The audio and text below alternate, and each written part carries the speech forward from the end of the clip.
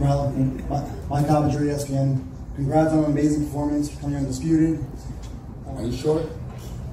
Yeah, you gonna share that list? Right. love you. love you. love you. love you. Hey, I was on you from the beginning. You know, you, I know you remember that. So go and ask your question. So first, you know, you had to fight with Tony. You gotta get your shit together. You always hating on people and shit. You see, you gotta come back to me now. You gotta respect me now. You got no choice but to respect me now. Yeah. Yeah. Yeah. Yeah. Yeah. Tell me. I'm trying to look back. You didn't see that. Come on. Yeah.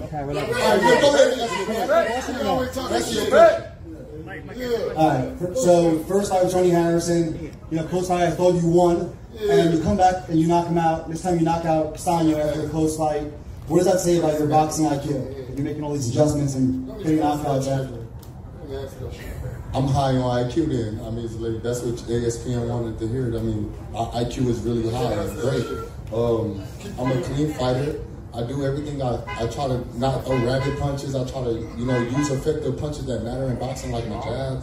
And I use like strong punches. And I'm a very strong 154 pounder, and I've been at this weight for some years. So um, I'm trying to figure out like, did you did y'all watch the first fight? A lot of those shots that Castano was throwing, even in this fight, you know, they were sliding off the gloves. I was blocking majority of those punches. It just sounds good because the crowd is rapping.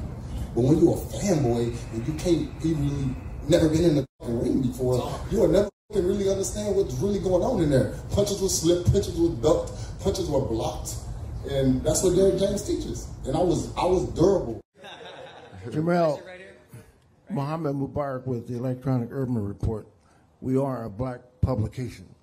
I write a, a column called Ringside Update, and I want to know how do you feel about at the end of this fight, the big crowd, the the people behind it? You made it a great fight. You made it one of the greatest fights in history, and I want to tip my hat to you Thank and you. leave it off. How do you feel now?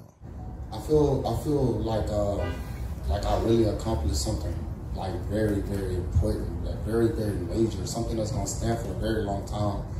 Um, just just every time they think about, I feel like I'm I made it to Hall of Fame level. As I know, hate hate ass ESPN ain't gonna tell me believe this, but I made it to a, a very very strong, very very strong pedestal in my career. You know what I'm saying? And so I believe that like I get to call the shots, I get to do what I do, and who knows what's next for me in boxing. Now you got no choice but to put me, you don't, you don't put me about my politics. It's cool. I don't give a about that. You gotta watch me. Stano had the majority of his success against you when you were against the ropes. Right. Is that something you're looking to avoid at all costs in this rematch? No, not at all. You see, he got clipped. He got buckled. You know what I'm saying? For Mike Coppinger hating ass. Tell Mike Coppinger he a fucking hater. You know what I'm saying? All that ass shit he be on, he a because you know why? Because he never boxed before. They sit in that motherfucker and they sit in there talking shit about us, but they never even boxed before. They never even been in the ring. You, you boxers get on the ropes. Boxers sometimes get on the ropes, and what you do when you on the ropes? You gotta fight yourself off the ropes. So I'm, you know, I'm de delayed myself into the winning that fight. Yeah, I could have won that fight.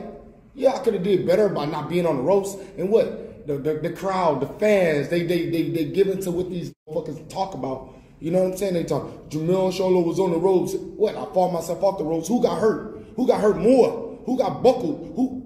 To me, I won all that shit. I'm him.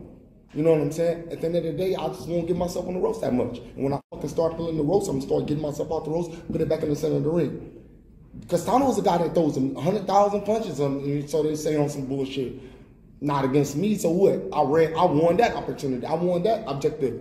He didn't throw as many punches at me. Why? Because he, because he did, he would have got hurt. He would have, the fight would have ended. Let him come in there charging me up like that again. I'm gonna come in there motherfucker and smash him. This time around, thank you, Stephen. come here. this is the president of Showtime. Why he keep bringing me back? Why they keep doing this to me? Why they? Because they they with me. They my skills. They understand what I possess in the ring. I'm him.